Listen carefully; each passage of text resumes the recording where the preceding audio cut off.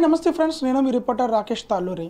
మనం ఒక వీడియో చేసాం. ఈరోజు చంద్రబాబు తరపున అడ్వకేట్ సిద్ధార్థ లోత్ర గారు ఒక పిటిషన్ అయిపోతున్నారు. ఆ జడ్జిమెంట్ ఈరోజు వస్తుంటే నిన్నే వేశారు ఆ పిటిషన్. ఈ రోజుకి ఇస్తామని చెప్పి అన్నారు. అయితే ఇద్దరు ఒక వాదనలు విన్నారు. అక్కడ సిఐ ఒక సిఐడి అడ్వకేట్ ఒక వాదన నెక్స్ట్ చంద్రబాబు తరపున సిద్ధార్థ సిద్ధార్థ లో లోత్రా గారు ఒక మాట. ఇద్దరిని కూర్చోబెట్టి ఇద్దరు ఆర్గ్యుమెంట్స్ కూడా విన్నారు. అయితే ఫస్ట్గా మనం సిద్ధార్థ లోత్రా గారు ఏం పెట్టారు?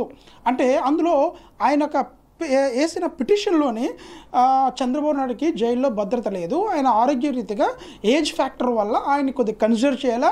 నెక్స్ట్ సరైన ఫుడ్ కూడా అక్కడ అంటే ఆ లోనకి ఇబ్బందిగా ఉంటుంది అని చెప్పి కొన్ని పాయింట్స్. కాబట్టి ఆయన్ని హౌస్ రిమైండ్ ఇవ్వండి అని చెప్పి కోరుతూ ఒక పిటిషన్ దాఖలు చేశారు. దానికి జడ్జ్ ఏం చేశారంటే మెజిస్ట్రేట్ దాన్ని పరిశీలించి మన ఎవరిని సిఐడి గారిని అదకడం జరిగింది. అయితే సిఐడి వాళ్ళు ఏం చేశారంటే మళ్ళీ ఒక వాదన అనేది క్లుప్తంగా మెజిస్ట్రేట్కి వినిపించారు. ఆ, సి అక్కడ రాజమండ్రి సెంట్రల్ జైల్లోని వాళ్ళ హోంశాఖ పంపించిన లెటర్ ఒక భద్రత ఒక లెటర్ ఆ లెటర్ కూడా సమర్పించారు. అంటే ఎలా భద్రత ఇవ్వాలి ఎట్టి ఎట్లాగ జాగ్రత్తలు తీసుకుంటున్నారో? ప్రస్తుతం అయితే అంటే ఒక బిల్డింగ్ మొత్తం స్నేహ బిల్డింగ్ మొత్తం ఆయనకి రిజర్వ్ చేసేసారు ఒక్క మనిషి కూడా అక్కడ మా పర్మిషన్ లేకుండా వెళ్ళడం జరగదు. కాబట్టి ఇన్ని చర్యలు మేము తీసుకున్నాము. ఆయన ఇంట్లో రిమైండ్ కన్నా అక్కడుంటేనే సేఫ్ రిమైండ్ సేఫ్ సెక్యూరిటీ ఉంది. అనేది క్లుప్తంగా సిఐడి యొక్క వాదనలు అనేది వినిపించడం జరిగింది. దానికి మెజిస్ట్రేట్ ఏకప్రవించి అంటే యాక్సెప్ట్ చేశారు. అప్పుడు వీళ్ళు ఏం చేశారంటే సిద్ధార్థ లోత్ర గారు వేసిన పిటిషన్ మెజిస్ట్రేట్ ఈరోజు కొట్టివేసి ఇందాక నాలుగు గంటలకు ఒక సంచలనమైన తీర్పు అనేది ఇవ్వడం జరిగింది. అయితే నిన్న మనం చెప్పాం అంటే నారా లోకేష్కి నెక్స్ట్ చంద్రబాబు భార్యకి వాళ్ళ కోళ్ళకి వీళ్ళు ముగ్గురికి పర్మిషన్ ఇచ్చారు అన్నారు. కొన్ని కారణాల వల్ల ఆ పర్మిషన్ రద్దు చేసి ఈరోజు నెక్స్ట్ ఎవరికి భువనేశ్వర్ గారికి ఒక్కరికే అంటే చంద్రబాబు నాయుడు భార్యకు ఒక్కరికి మాత్రమే పర్మిషన్ ఇచ్చారు. అయితే తను వెళ్ళి విజిట్ చేసి చంద్రబాబు నాయుడు చూసింది. చూసి వచ్చిన తర్వాత కొన్ని మాటలు కూడా మాట్లాడారు ఇద్దరు డిస్కస్ చేసుకున్నారు. అయితే వచ్చిన తర్వాత ఆవిడ ప్రెస్ మీట్లో మాట్లాడుతూ చంద్రబాబు నాయుడు గారికి అక్కడ సరైన భద్రత లేదు. వీళ్ళు ఏమైతే చెప్తున్నారో అవన్నీ ఉత్తు మాటలే. కాబట్టి ఆయన నిత్యం కూడా ప్రజల కోసమే ఆలోచించిన వ్యక్తి. ఈ రోజు నేను ఆయన్ని స్థితిలో చూసి చాలా బాధపడుతున్నాను. ఎప్పుడు కూడా సరే నేను ఇంట్లో ఉండన్నా నన్ను కూడా తిట్టేవారు ఆయన నిత్యం ప్రజల కోసమే ఆలోచించిన వ్యక్తి. కాబట్టి ఈ రోజు నేను ప్రజలకు చెప్తున్నా మీ క్షేమం కోరే వాళ్ళు మీ క్షేమాన్ని మీ అభివృద్ధిని కోరే చంద్రబాబు నాయుడు ఈ స్థితిలో ఉండడం చాలా బాధాకరం అని కూడా ఆయన సంచ ఆవిడ సంచలమైన వ్యాఖ్యలు కూడా చేయడం మొదలుపెట్టింది చేశారు కూడా. అయితే దీన్ని బట్టి చూస్తే ఎక్కడికెట్టి అంటే ఎటు చూసినా సరే సిఐడి వాళ్ళు ఎదుర్కోలేకపోతున్నారు లో సిద్ధార్థ లోత్రా గారు. ఎందుకంటే సిద్ధార్థ లోత్రా గారు అనే వ్యక్తి మోస్ట్ చిన్న విషయం అయితే కాదు. ఇండియాలో టాప్ మోస్ట్ టెన్త్ వస్తే ఆయన కూడా ఒక మెంబర్. అంటే టాప్ టెన్లో ఆయన కూడా ఒకరు ఉంటారన్నమాట. అలాంటి వ్యక్తి ఎందుకంటే పలు అంటే పలు కేసుల్లోని ఆయన వాదించారు. ఆయనకి ఓటం అంటే ఎదురులేదు కానీ ఇదొక చంద్రబాబు నాయుడు ఇష్యూ. సొంత ఈ కేసులోనే ఆయనకి అంటే తొక్కెదురైందనే మనం చెప్పుకోవచ్చు. ఆయన ఓటమి ఎదురయ్యారు అని చెప్పి చెప్పుకోవచ్చు. ఏంటంటే ఆయన వాదన ఏంటంటే ఏదో ఒకటి పెట్టి నేను జైల్లో ఉండకుండా తీసుకువస్తాను అనేదే ఆయన వాదన. కాబట్టి ఈరోజు ఆ వాదన కూడా సిఐడి వాళ్ళు తిప్పుకొట్టారు. కాబట్టి మెజిస్ట్రేట్ కూడా కూడా దీన్ని యాక్సెప్ట్ చేయలేదు. అందుకు మెజిస్ట్రేట్కి కూడా ఏమైంది అంటే హై సెక్యూరిటీ కూడా ఇవ్వడం మొదలుపెట్టారు. ఎందుకంటే ఫోర్ ప్లస్ వన్ సెక్యూరిటీ ఇచ్చారు ఆవిడకి. కాబట్టి అలాగే మన four plus four security next మన సుధాకర్ గారికి కూడా ఫోర్ ప్లస్ ఫోర్ భద్రత అనేది కూడా ఏర్పాటు చేశారు. ఎందుకంటే వీళ్ళు ఇద్దరే చాలా కీలకమైన వ్యక్తులు. మోస్ట్ ఇంపార్టెంట్ పర్సన్స్ వీళ్ళు ఇద్దరు ఎందుకంటే వీళ్ళే అసలు ఆయన జడ్జిమెంట్ ఇచ్చారు.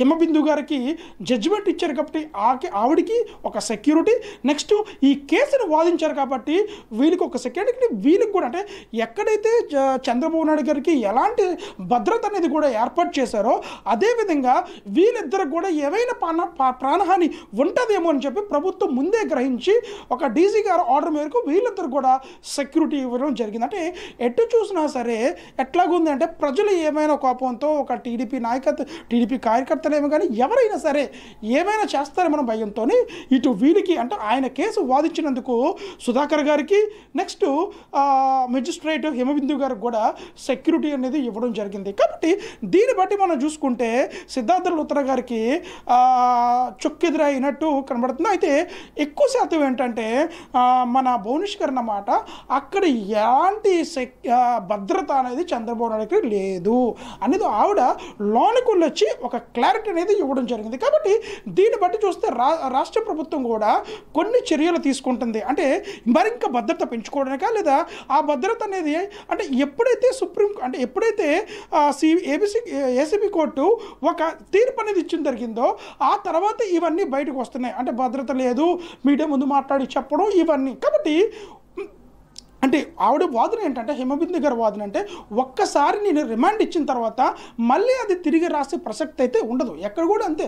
ఒక్కసారి రిమాండ్ ఇచ్చేసిన తర్వాత మళ్ళీ అది వెనక్కి తీసుకొని లేదు సరే అని ఏదైనప్పటికీ రిమాండ్ అనేది ఎలా ఉండాలంటే ఎప్పుడు కూడా ఒక వ్యక్తి రిమాండ్కి వెళ్ళక ముందే కోర్టులో ఉండగానే ఇవన్నీ చర్చించాలి. అప్పుడు అప్పుడే కోరాల. రిమాండ్కి వేసేటప్పుడు కూడా ఒకవేళ కానీ మీరు రిమాండ్కి అయ్యారనుకుంటే మా యొక్క పర్సన్ని మీరు కన్సిడర్ చేయాలా? ఆయన హెల్త్ పోవాలా? ఆయన ఏజ్ పోలేదని ముందు అక్కడ వాదనలు వినిపించాలి. అప్పుడు మళ్ళీ వాళ్ళు రిమైండ్కి వెయ్యాలంటే ఆలోచనలో పడతారు. కాబట్టి ముందు మాట్లాడకుండా రిమైండ్ వేసిన తర్వాత మళ్ళీ తూచ్ ఇది రిమైండ్ కాదు మళ్ళీ హౌస్ రిమైండ్ ఇవ్వండి అంటే ఇలాంటివి కొన్నిసార్లు చాలా మందికి కూడా వర్తిస్తాయి. అప్పుడు కొన్ని ఆర్గ్యుమెంట్స్ కూడా లభిస్తాయి. మా హయాంలో ఎందుకు ఇలా జరగలేదు? అంటే ఇతనికి ఎందుకు జరగాల? చట్టం అనేది అందరికీ సమానమే కదా? ఈయన విఐపి వివిఐపి హై ప్రొఫైల్ అయినప్పటికీ ఈయన కూడా భారతదేశం మనిషే కదా?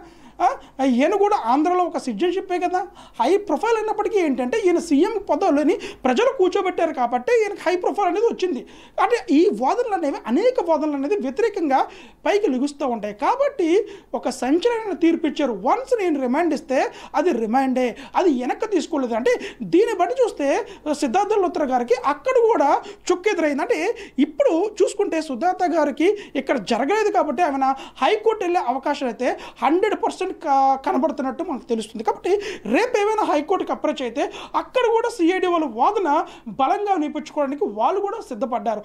అంటే ఏ ధీటికైనా సరే ఎంత పెద్ద లాయర్ అయినా సరే రూల్ ఈస్ రూల్ అనేది సిఐడి వాళ్ళక ఆలోచన. కాబట్టి ఇంకా రేపు హైకోర్టుకి వెళ్ళే విషయాలు అయితే మనకు తెలుస్తుంది. ఒకవేళగా ఇస్తే అక్కడ కూడా మేము ఎదుర్కొంటాం ఎలా వాదించాలో ఆట వాదిస్తాం అనేది కూడా సిఐడి వాళ్ళు చెప్పిన వాదన. Thank you friends thank you so much